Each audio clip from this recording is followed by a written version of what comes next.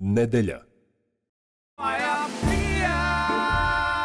O omiljenim pesmama koje su obeležile njegov život.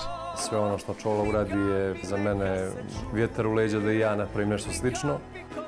A kad se pojavila pjesma Noć mi te duguje, nekako mi je otvorila neka nova vrata u nekom svom fazonu i shvatio i prihvatio. Jesam jer noć mi te Uvijek kad krene da ja kao i svaki Balkanac dignem ruke i odmah tražim mikrofon da ja pjevam ili samo kažem mikrofon i gedur, molim vas. Kad smo se upoznali, volim te, volim ja. Pevač Sergej Cetković, gost je emisije Tri note. U nedelju u 14.30 na RTV 1